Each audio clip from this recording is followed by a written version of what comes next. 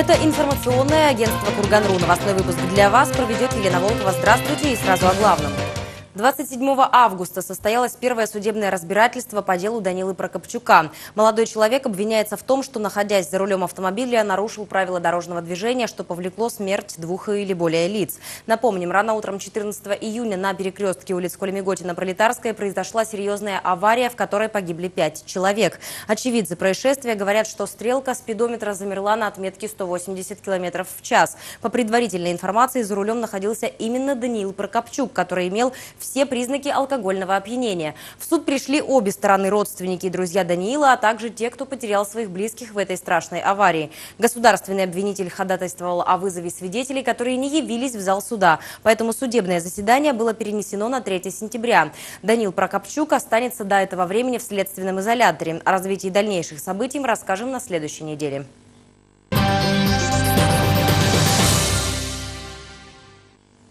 Более 350 граммов героина цыганка-гастролерша пыталась сбыть в городе Шадринске через тайники. 44-летнюю женщину оперативники Шадринского межрайонного отдела задержали у дома, в котором она арендовала жилье посуточно. Здесь жительница Челябинской области останавливалась, когда приезжала в город на Исети. Здесь же занималась расфасовкой и хранением наркотических средств. В ходе досмотра в ее сумочке наркополицейские обнаружили пакет, в котором находилось 26 спичечных коробков. В каждом из них оказалось по несколько граммов героина. Кроме того, на четырех тетрадных листах, которые женщина безуспешно попыталась уничтожить, содержались сведения с описанием тех мест, куда она спрятала наркотические вещества. Всего значилось 24 тайника, причем все они находились за пределами города. На обочине автодороги, в лесном массиве, рядом с железнодорожными путями. Сотрудники УФСКН изъяли из указанных мест 24 спичечных коробка, в которых также находился героин.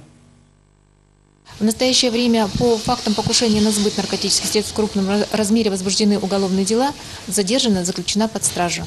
Напомню, что Уголовным кодексом Российской Федерации за данный вид преступления предусмотрено наказание от 10 до 20 лет лишения свободы. Алексей Кокорин совершил рабочую поездку в Долматовский район. Помимо встреч с жителями, глава Зауралья посетил Свято-Успенский монастырь и поинтересовался ходом восстановительных работ. Губернатору показали южную келью, которая была демонтирована и сейчас восстанавливается заново в соответствии с проектом, а также отреставрированную юго-восточную башню. Кроме того, Алексей Кокорин посетил музей, где представлены экспонаты, рассказывающие о жизни Долмата Исетского и архимандрита, начальника русской духовной миссии в Иерусалиме Антонина Капустина. Капустина, который учился в монастыре истории России и православной церкви. Сохранились шлем и кольчуга святого Далмата. Сейчас они находятся в музее Екатеринбурга. В Заурале представлены их фотографии. Алексей Кокорин отметил, что он готов оказать со своей стороны необходимую поддержку для того, чтобы вернуть экспонаты в Далматовский монастырь. В прошлом году здесь завершились работы по воссозданию внешнего облика действующего храма монастыря Церкви всех скорбящих радости, храма и усыпальницы Далмата, росписей и иконостаса. Сегодня идут работы на других объектах монастыря, находящихся в аварийном состоянии. Это Успенский собор, башни, здание циферной школы. На проведение реставрационных работ выделен 31 миллион рублей.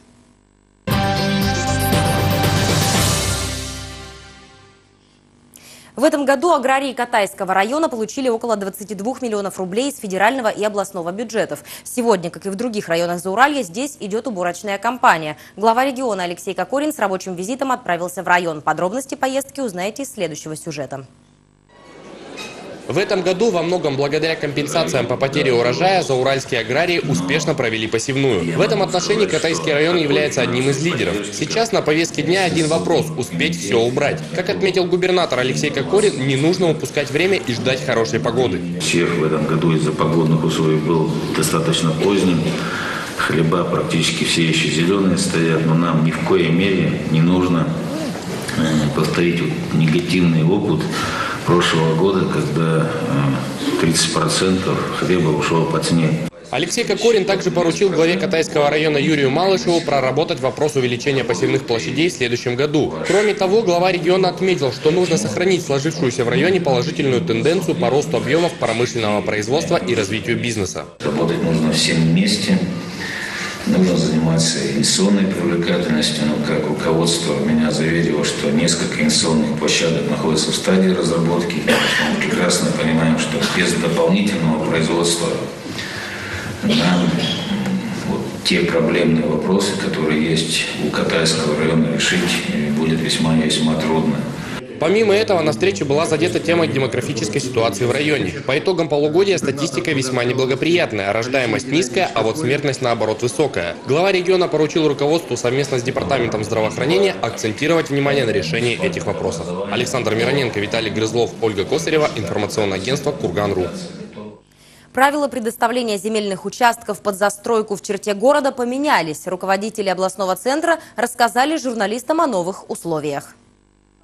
Полномочия предоставления земельных участков для застройки с 1 марта этого года перешли из области к органам местного самоуправления. В мае городские власти привели генеральный план города в соответствии с правилами землепользования и новых норм законодательства. И надеемся, что благодаря общим усилиям мы все-таки сможем, а, так скажем, сделать наш город более привлекательным в части градостроительной политики, в части размещения объектов социального, культурного назначения, а также жилых домов, учитывая, ну, будем говорить, мнение большинства проживающих в нашем городе. Теперь земельный кодекс четко прописывает положение, которое не позволяет менять назначение земель. Позиция э, и тогда, и сегодня а, значит, такова органов местного самоуправления, что под что земельный участок был предоставлен, тот объект и должен находиться на этом земельном участке. К счастью, с 1 марта 2015 года коллизии законодательства были урегулированы, и сегодня, разыгрывая на аукционе любой земельный участок, его назначение не, не должно меняться в соответствии с условиями аукциона.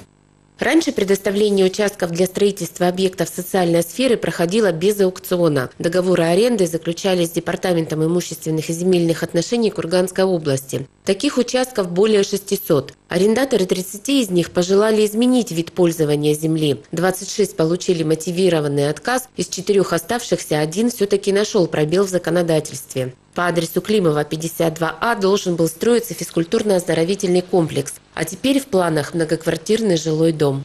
Он самостоятельно, без нашего участия, вошел в Росреестр, поменял вид использованного участка и, вернувшись с этими документами у нас в Департамент архитектуры, уже с готовыми документами, и нам только остается, как говорится, или же э, дать ему разрешительные документы, или же входить с ним в судебные разбирательства.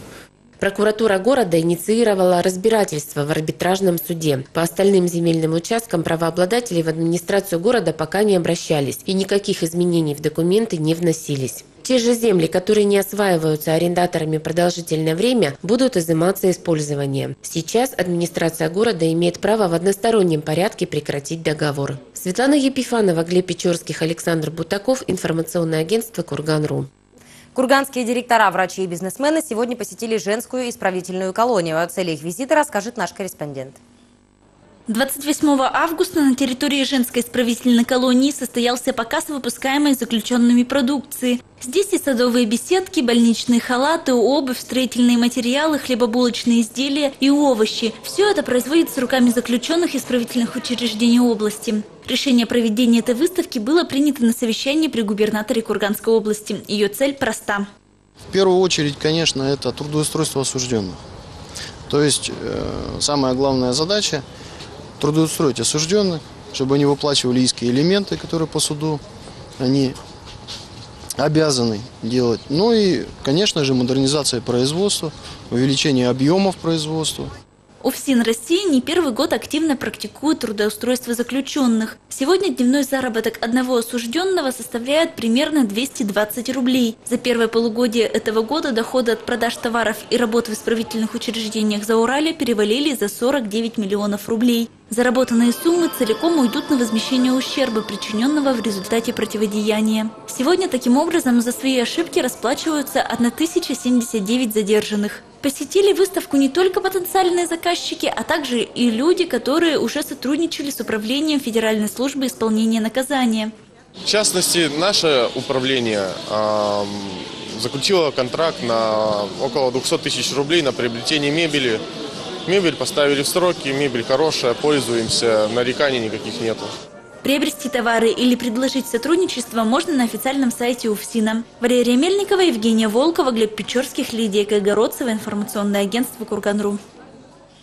Возле исправительной колонии строгого режима на станции Иковка действует преступная группа. Их главная цель – вывести из строя инженерно-технические средства и создать условия для массового побега заключенных, завладеть оружием и освободить лиц, отбывающих наказание за терроризм. По такому сценарию в Китовском районе прошли четырехдневные тактико-специальные учения. За штурмом наблюдал Александр Мироненко. По легенде, часовые нескольких постов охраны колонии доложили, что ночью неизвестные лица на автомобиле без регистрационных номеров скрыто наблюдали за службой караула. При появлении дежурной смены группа скрылась. Охрану колонии перевели на усиленный режим несения службы. В районе начали осуществлять комплекс оперативно-розыскных, поисковых и ограничительных мероприятий. Силами структур, в том числе с использованием авиации ФСБ и МВД России, было выявлено местонахождение преступников. Район заблокировали. Бандиты в переговоры вступать отказались и попытались прорваться через рубежи блокирования преступления. Оперативный штаб принял решение нейтрализовать преступников. С этой задачей силовики справились за несколько минут.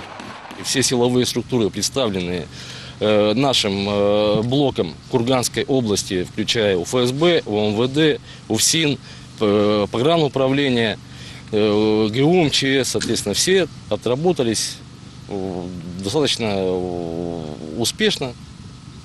Боевое слаживание достигнуто. Основными целями учения являлось это именно достижение боевой слаженности всех подразделений, всех ведомств. Всего на учениях было задействовано более 100 человек. По оценке руководства, уровень готовности выделенных подразделений оперативного штаба признан удовлетворительным. Учебные цели достигнуты. Александр Мироненко, Александр Менчиков. Информационное агентство «Курган.ру». Учителя Кургана собрались во Дворце творчества юных на традиционную педагогическую конференцию перед началом учебного года. Что обсуждало учительское сообщество, расскажет Светлана Епифанова. Августовская конференция по традиции объединила начинающих специалистов и ветеранов педагогики, работников методических служб и руководителей учебных учреждений, членов городского родительского совета и активистов общественных организаций. Ну, получила профессию я в Курганском педагогическом колледже. Я обучалась там по специальности учитель начальных классов, но выбрала профессию воспитателя, так как мне больше нравятся дети, вот когда они меньше возрастом. И поэтому я выбрала профессию, и мне там больше нравится как-то там мне лучше, это, наверное, мое. Все-таки не в школе, а в садике. Я начинаю 30-й учебный год и иду на эту конференцию с подъемом душевных сил. А, мы встречаемся, видим весь, можно сказать, педагогический коллектив города Кургана. Мы видим результаты предыдущего учебного года. Мы слышим ориентиры, цели, задачи на ближайшее и отдаленное будущее. Мы видим тех коллег, с которыми уже много лет вместе, которых глубоко уважаем и радуемся, что они продолжают строить систему образования города Кургана.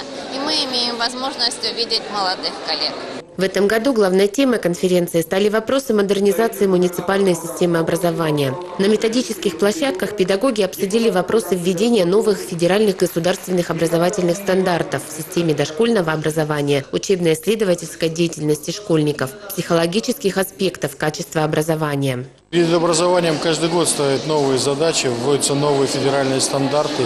И я думаю, что э, та стабильность э, вообще самой сферы образования, она дает возможность говорить о том, что все задачи, которые сегодня ставят президент и правительство перед э, образованием, они будут выполнены. Поэтому мы, э, так скажем, в новом формате, по сути дела, не боимся тех изменений, которые идут. Э, это все технологически будет подготовлено, будет выполнено в полном объеме. В областном центре работает 128 образовательных учреждений. Гордость учителя – его ученики. И по итогам прошлого учебного года 23 ребенка получили именные стипендии главы города, 84 человека – золотые и серебряные медали, 11 сдали ЕГЭ на 100 баллов. Светлана Епифанова, Глеб Печорских, Ольга Косарева, информационное агентство «Курган.ру». Альтернативный оператор мобильной связи «Теле2» объявляет о старте оказания услуг и продаж под собственным брендом в Курганской области. 26 августа официально наступил конец высоким ценам за связь. Абоненты Ростелекома в Курганской области с удивлением обнаружили, что на экранах их мобильных телефонов появилась надпись «Теле2». Все дело в том, что в результате создания нового федерального оператора сотовой связи они стали абонентами Теле2, а значит теперь зауральцы смогут значительно экономить на сотовой связи. Узнать подробности, подключиться к Теле2, а также подать заявку на переход от другого оператора в сеть Теле2 можно в салонах, которые уже сегодня начинают свою работу. Кстати, накануне произошло преображение монобрендовых салонов Теле2 силами сотрудников компании. Буквально за ночь салоны сотовой связи Ростелеком стали салонами Теле2. История Теле2 в России начинается в 2003 году, когда шведский оператор выходит на российский рынок и уже к 2009 году он становится четвертым оператором России. А в 2014 году было создано совместное предприятие с компанией Ростелеком. Теле2 выходит уже на федеральный уровень и ведет коммерческие операции в более чем 60 регионах Российской Федерации, обслуживает 35 миллионов абонентов. Накануне старта продаж в Кургане прошла пресс-конференция с представителями компании, где журналистам представили простые, понятные, прозрачные, а главное невероятно дешевые тарифы. Так, тариф бирюзовый для тех, кто привык много и долго говорить с абонентами любых операторов. Сегодня мы рынку а, Курганской области представили а, запуск нового федерального дискаунтера компании Теле2. Мы считаем, что это очень важное событие как для рынка а, Кургана, так и для компании Теле2. Мы представили новую тарифную линейку, состоящую из четырех основных тарифных планов. Теле2 честно дешевле, самые низкие цены. Добро пожаловать в нашу сеть. Помимо бирюзового были представлены три пакетных тарифных плана. Черный, очень черный и самый черный, который включает в себя безлимит внутри сети, пакет минут для звонков на другие операторы, пакеты СМС и интернет-трафик. Сим-карту федерального оператора можно использовать не только на Урале, но и смело разговаривать по мобильному за его пределами, а также пользоваться мобильным интернетом 3G, который сегодня доступен в отличие от 4G большинству жителей региона. В эту субботу компания Теле2 приглашает жителей и гостей Кургана на большой праздник. Теле2 зажигает свет мобильных перемен, который состоится на центральной площади с 12 до 22 часов. Не пропустите, это грандиозное событие. Приходите всей семьей. Компания «Интерсвязь» постоянно работает над улучшением качества предоставляемых услуг, а также над повышением лояльности абонентов. Так, до конца сентября действует выгодная акция. Подробности узнаете из следующего сюжета. Компания «Интерсвязь» вот уже 4 года предоставляет жителям Кургана надежные услуги – интернет и кабельное телевидение. За этот небольшой, казалось бы, срок пользователи успели оценить высокую скорость соединения, разнообразие кабельных каналов, отличное качество вещания и, конечно же, безупречный клиентский сервис одного из лучших операторов связи региона. О качестве услуг красноречиво говорит и тот факт, что с каждым днем все больше и больше новых пользователей подключается к масштабной сети «Интерсвязь». Сотрудники компании в круглосуточном режиме контролируют работу оборудования и регулярно проводят проводят его модернизацию, благодаря чему абоненты получают стабильный доступ к интернету на скорости до 100 мегабит в секунду, а также наслаждаются отличным качеством изображения и звука каналов, количество которых было увеличено до 200. Я подключилась к интерсвязи по совету друзей, которые очень положительно отзывались об услугах этого провайдера. Для меня очень важен быстрый, надежный доступ к сайтам, поэтому я уверена, что я не разочаруюсь. Когда оставляла заявку, менеджер подробно рассказал о тарифах, помог выбрать наиболее выгодные варианты и предложил воспользоваться акцией, а, по условиям которой я получаю скидку 20% на интернет. Это очень приятный бонус. В общем, я очень довольна, что стала абонентом интерсвязи. Стоит отметить, что была значительно увеличена скорость доступа в интернет на услугах «Улыбка 50» и «Атака 90». Днем абоненты получают скорость до 50 и до 90 мегабит в секунду соответственно, а ночью на обеих услугах 100 мегабит в секунду. Компания «Интерсвязь» также подготовила специальные условия подключения. Новые абоненты услуг «Улыбка 50» и «Атака 90» получают не только качественный и стабильный доступ к сети, но и возможность экономить на оплате до 20% ежемесячно. Скидка носит постоянный характер и сохраняется при условии поддержания положительного баланса на счете. Выгодное предложение действует только до 30 сентября. Не упустите возможность подключиться к сети «Интерсвязь» по специальной цене. Звоните прямо сейчас. Впереди коммунальные коллизии в программе защиты информации о товарах и услугах, а также прогноз погоды. А я прощаюсь с вами. Всего доброго.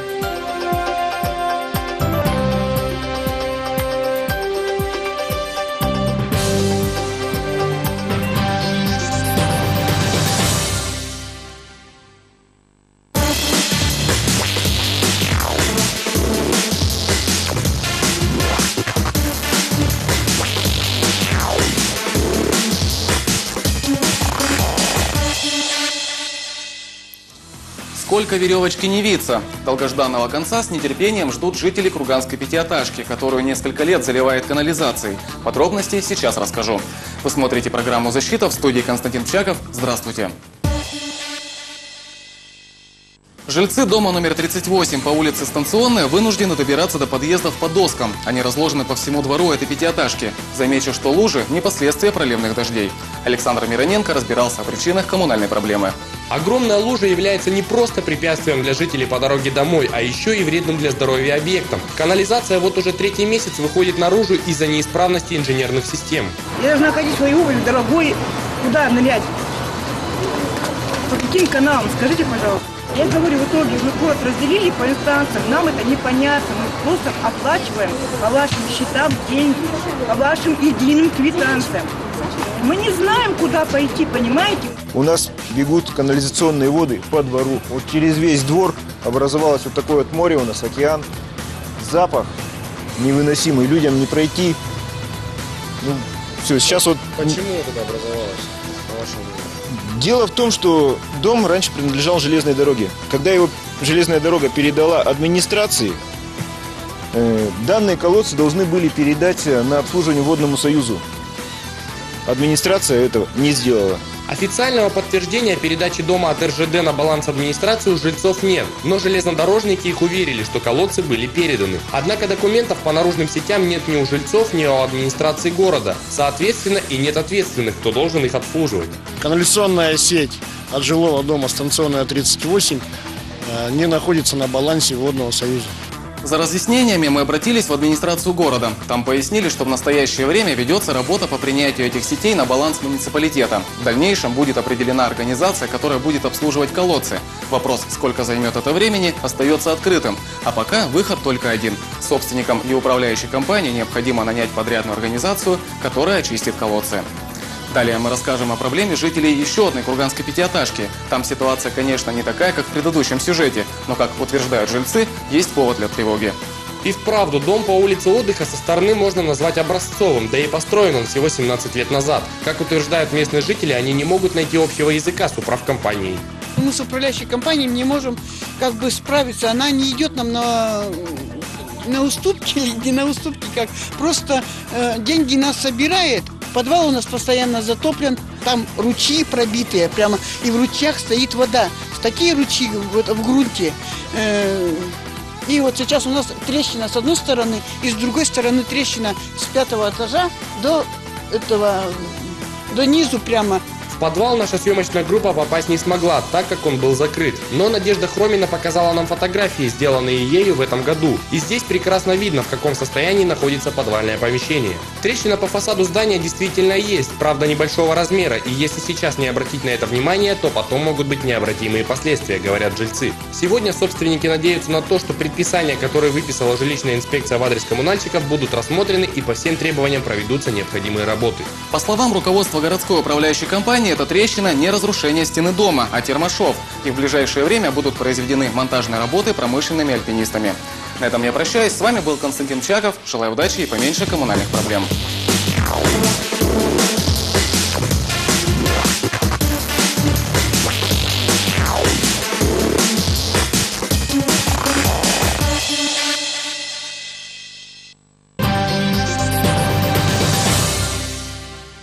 29 августа приглашаем всех на праздник День села Китова. На площади села Китова в 12 часов для вас споет Владимир Маркин. Начало праздника в 11 часов.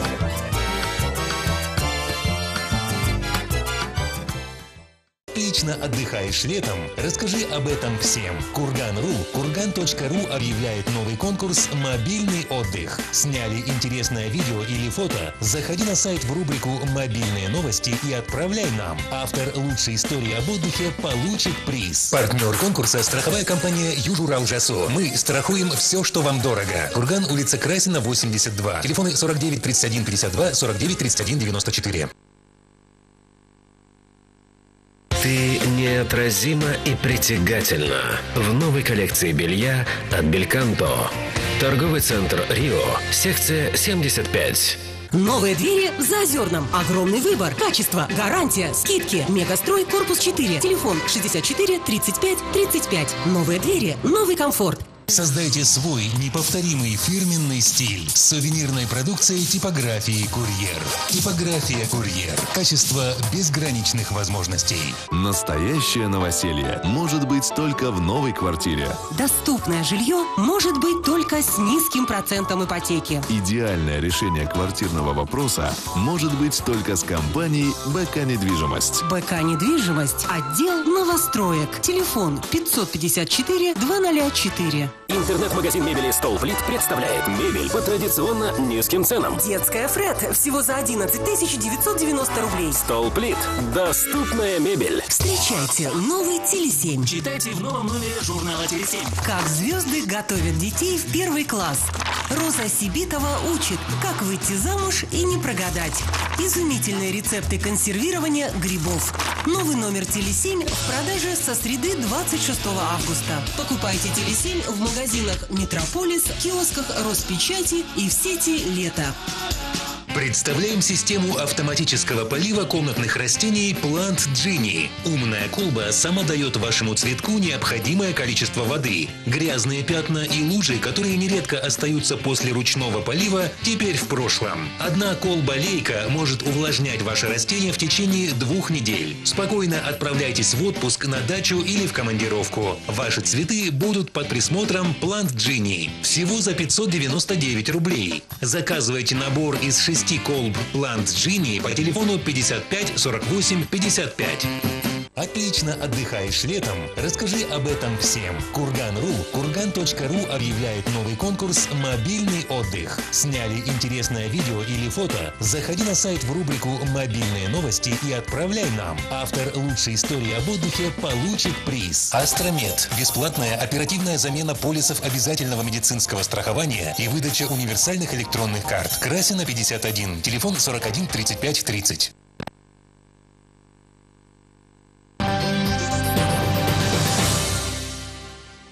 24,75% годовых по вашим сбережениям – это реально. Ваши сбережения поддерживают сельское хозяйство, обеспечивая Россию качественными продуктами. Все накопления мы заботливо страхуем. КПК «Семейный капитал» – ваш надежный и честный партнер. Салоны «Надежда Плюс» и «Прозрение» специально к 1 сентября предлагают всем школьникам и их родителям огромное поступление оправ. Новый взгляд на новый учебный год. Здравствуйте! С прогнозом погоды вас знакомит Жанна Соколова. КПК «Семейный капитал». Высокие ставки по сбережениям. Копите и приумножайте вместе с нами. Салоны «Надежда Плюс» и «Прозрение». Специально к 1 сентября предлагают всем школьникам и их родителям огромное поступление прав. Новый взгляд на новый учебный год. Салон оптики «Надежда Плюс». А теперь о прогнозе синоптиков. Ночь на субботу через Зауралье прорвется атмосферный фронт, сопровождаемый интенсивными ливнями и порывистым ветром. Днем регион окажется в тылу циклона. Дожди приобретут локальный характер, а северо-западные ветры продолжат поставлять свежие воздушные массы. С температурным режимом немного ниже своей климатической нормы. В Екатеринбурге плюс 14-16, Тюмени плюс 13-15, Челябинске плюс 16-18. Кратковременный дождь. В Кургане ночью облачно, временами дождь. Ветер юго-западный, западный 5-10 метров в секунду. Температура воздуха плюс 10-12. Днем в Кургане облачно с прояснениями, кратковременный дождь. Ветер северо-западный 7-12 метров в секунду, порывистый. Температура воздуха плюс 14-16. Атмосферное давление ночью будет падать, днем начнет расти и составит 751 мм ртутного столба. 29 августа солнечная активность умеренная, геомагнитное поле неустойчивое. На этом я прощаюсь. Всего доброго.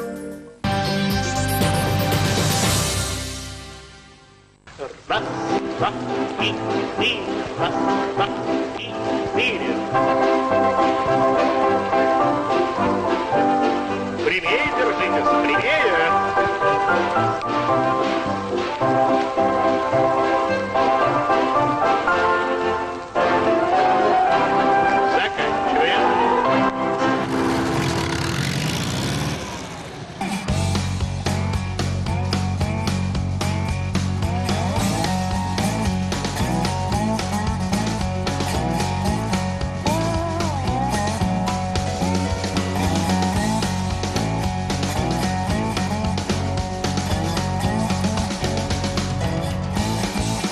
все времена удачи на даче.